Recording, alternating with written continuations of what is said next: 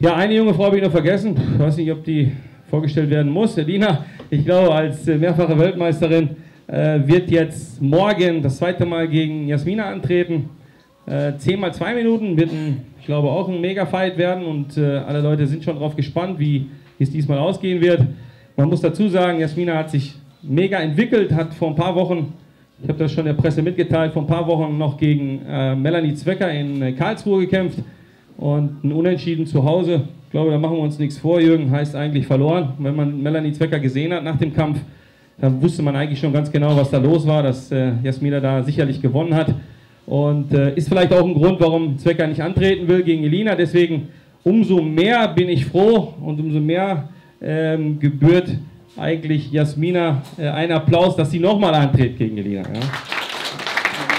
Ist, dass die Sport liefern wollen. Das ist das A und O, was wir möchten. Elina möchte zeigen, dass sie in der, in der Welt, in, diesem, in dieser Gewichtsklasse ganz oben mitmischt und da geht es nicht ums Geld. Wenn Sie da mit Amerikanern, mit Kanadiern, mit Mexikanern verhandeln, äh, das ist alles witzlos. Das, äh, die haben alle Vorstellungen von Börsen. Das ist absolut witzlos. Da brauchen wir überhaupt nicht mehr reden.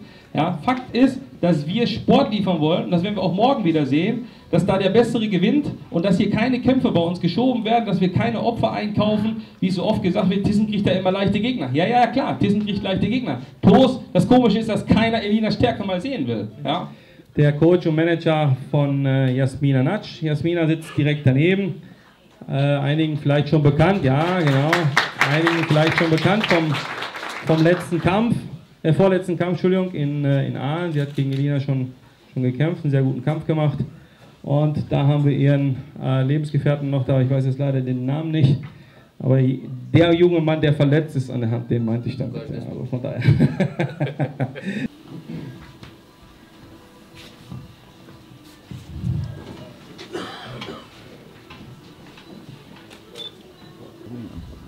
Exakt 57 Kilogramm für Jasmina Natsch.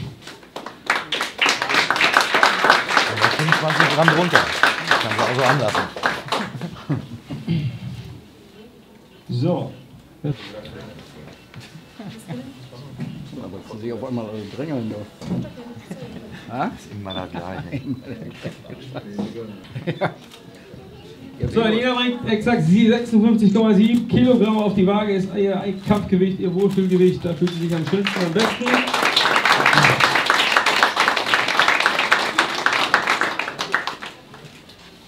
So, viel gehabt, Face-to-Face-Foto noch hinterher.